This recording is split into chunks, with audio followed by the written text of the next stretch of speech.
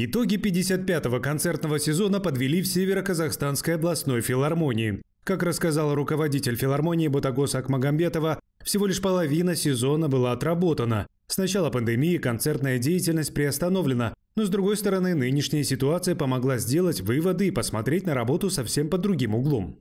Именно вот этот период, он дает большую возможность самореализоваться тем людям, которые, может быть, где-то стеснялись, где-то э, им не так много внимания уделялось в процессе работы.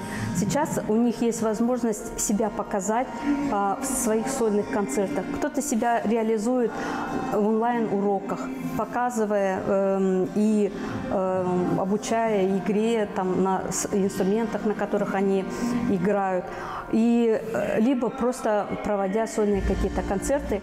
Каждый творческий коллектив работает над новыми проектами и идеями, чтобы после окончания карантина удивить и встретить слушателей. Как поделилась Бутагос Акмагамбетова, шьются новые костюмы для хореографических ансамблей, закупается современная звуковая и визуальная техника.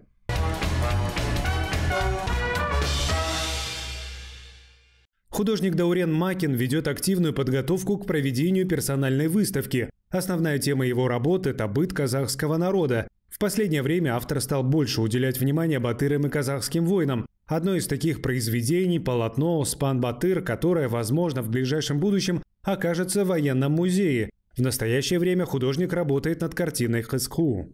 Эту работу я пишу больше года. Угу. Вот, даже второй год, но я ее просто от, от, отставлял и занимался другими работами, эскизами, вот в каких-то конкурсах участвовал. Вот, потом э, решил я немножко по-другому вести, она в цвете немножко другая, вот, и по деталям там кое-что изменилось. Поэтому иногда бывает в процессе, ты можешь начать, и в процессе ты понимаешь, что тебя что-то не устраивает, и ты вносишь э, какие-то изменения. Это бывает в творческом процессе. Сам Даурен родился и вырос в творческой семье. После окончания школы поступил в Алматинское художественное училище. Пробовал себя и в бизнесе, но стремление к творчеству привело его в Санкт-Петербургский государственный академический институт имени Репина. Творение Даурена Макина зрители смогут увидеть и оценить мастерство автора на персональной выставке, даты которой, по понятным причинам, еще неизвестны.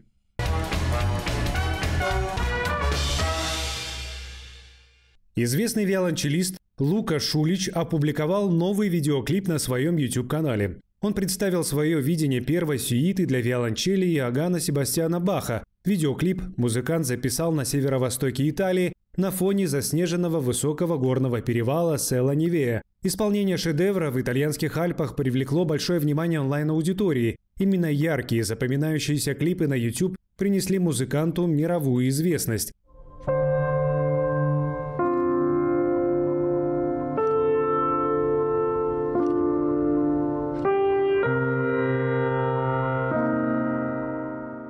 Нидерландская национальная опера и балет предлагает виртуальным зрителям большое разнообразие онлайн-проектов. Они доступны на официальном YouTube-канале театра. Артисты раскрывают секреты за кулисья, делятся своими переживаниями и наблюдениями. Особый интерес привлекают проекты балетной труппы. Участники проекта по-новому открывают для себя родной город и выражают свои чувства в танце. Амстердам – это не открытка, говорят они, это место, где мы живем.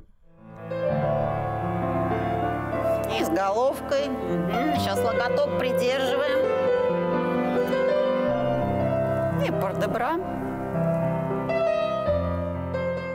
Желающие поближе познакомиться с балетным искусством могут присоединиться к мастер-классам Мариинского театра. Артисты балета проводят классические уроки, объясняя тонкости этой кропотливой работы. Занятие в онлайн-формате прошло под руководством педагога-репетитора Эльвиры Тарасовой. Элементы упражнения у станка продемонстрировала артистка балета Мариинского театра Мария Ильюшкина. Она является лауреатом международного конкурса Валентины Козловой. Окончив 4 года назад Академию русского балета имени Вагановой, она сразу поступила в труппу Мариинского театра.